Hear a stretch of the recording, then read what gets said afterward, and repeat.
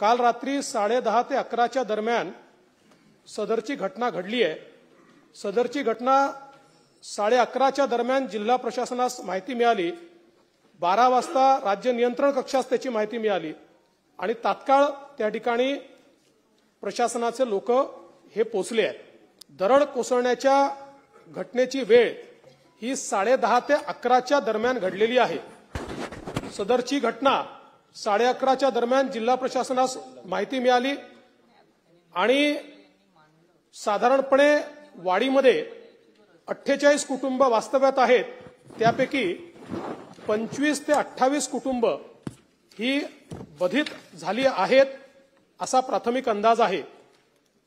दोनशे अठ्ठावीस पैकी सत्तर नागरिक स्वतः घटनेच्या वेळी सुरक्षित असल्याचे प्राथमिक माहितीत आढळून आलेले आहे. एक व एकवीस जखमी असून त्यातील सतरा लोकांना तात्पुरत्या बेस कॅम्पमध्ये उपचार केले असून सहा लोकांना पनवेल येथील एमजीएम हॉस्पिटलमध्ये उपचार दिले जात आहेत. सकाळी सव्वा दहा सव्वा दहापर्यंतच्या अहवालानुसार दहा लोकांचा मृत्यू झालेला आहे किंवा त्या बॉडी आयडेंटिफाय झालेल्या आहेत. उर्वरित लोकांचं शोध व बचाव कार्य सुरू आहे.